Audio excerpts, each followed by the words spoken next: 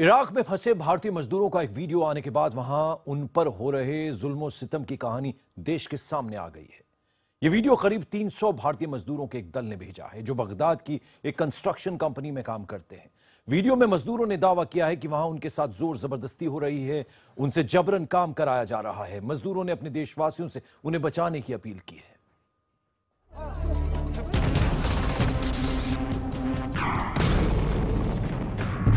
Iraq में फंसे 300 हिंदुस्तानियों का दल।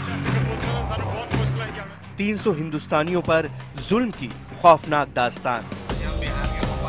भारत सरकार सुनेगी 300 हिंदुस्तानियों की गुहार। सारे बंदे फंसे हुआ ठीक है? किसी भी तरह सानू हम बहुत प्रॉब्लम है हम जाना चाहते हैं यहाँ से कंपनी भेजती नहीं है। बहुत मुश्किल है जाना चाहते हैं ये वीडियो एक ऐसे खौफनाक सच से पर्दा उठा रहा है जो खाड़ी देशों में काम करने के लिए जाने वाले मजदूरों की बेबसी, मजबूरी और उनसे हो रही ज़बरदस्ती का सबूत बन गया है। एक दूसरे का हाथ थामकर अपनी सलामती के लिए दुआ कर रहे लोग रोजी रोटी की तलाश में इराक गए थे, लेकिन अब ये लोग वहाँ फंस चुके हैं। ये वीडियो इराक के किसी युद्धग्रस्त इलाके का नहीं है, बल्कि राजधानी बगदाद का है, जहाँ इराक की सरकार पूरी ताकत के साथ प्रशासन चला रही है।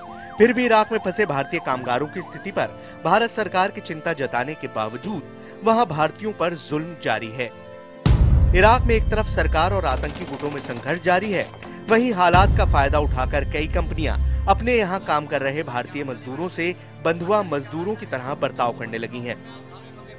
खबरों के मुताबिक भारतीय मजदूरों का पासपोर्ट, वीज़ा और दूसरे ज़रूरी दस्तावेज़ उनसे छीन लिए गए हैं भारतीय लोगों के पास ज़ोर ज़बरदस्ती सहने के सिवा कोई चारा नहीं है।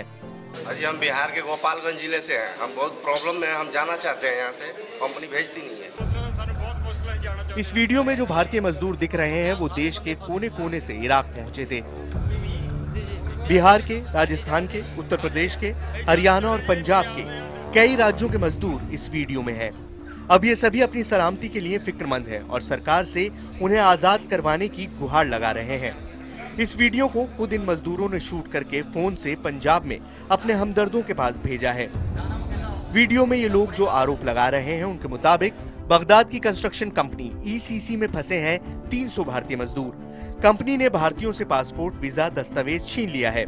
कंस्ट्रक्शन कंपनी ईसीसी भारतीय मजदूरों पर जुल्म कर रही है मर्जी के खिलाफ भारतीयों से जबरदस्ती काम करवाया जा रहा है खबरों के मुताबिक इन भारतीयों को ठीक से खाना पीना भी नहीं दिया जाता विरोध करने पर इनकी पिटाई की जाती है आखिरकार मजबूरी में मजदूरों ने खुद ही वीडियो शूट कर भारत भेजा ताकि सरकार और देश को उनकी हालत पता चल सके ਅਸੀਂ ਜਾਣਾ ਚਾਹੁੰਦੇ ਜੀ ਪੰਜਾਬ ਦੇ ਆ ਡਿਸਟ੍ਰਿਕਟ ਕਪੂਰਥਲਾ ਤੋਂ ਸਾਨੂੰ ਬਹੁਤ ਮੁਸ਼ਕਲ ਹੈ ਜਾਣਾ ਚਾਹੁੰਦੇ ਆ ਪਰ ਕੰਪਨੀ ਭੇਜ ਨਹੀਂ ਸਾਨੂੰ ਜਲਦੀ ਜਲਦੀ ਭੇਜਿਆ ਜਾਵੇ ਇੱਥੇ ਬਹੁਤ ਵੱਡੀ ਪ੍ਰੋਬਲਮ ਆ ਸਾਰੇ ਬੰਦੇ ਫਸੇ ਹੋਆ ਠੀਕ ਹੈ ਕਿਸੇ ਵੀ ਤਰ੍ਹਾਂ ਸਾਨੂੰ ਇੱਥੋਂ ਕੱਢੋਗੇ सवाल ये है कि क्या 300 हिंदुस्तानियों की ये पुकार भारत सरकार के कान तक पहुंच रही है आरोपों के मुताबिक बगदाद की कंस्ट्रक्शन कंपनी ईसीसी में फंसे भारतीय नागरिकों को निकालने के लिए क्या कोशिशें की जा रही हैं क्योंकि साफ है कि ये इलाका विद्रोहियों के कब्जे वाला इलाका नहीं है और इन्हें बचाना इराकी सरकार के हाथ में है अमित चौधरी चंडीगढ़ आईबीएन सेवन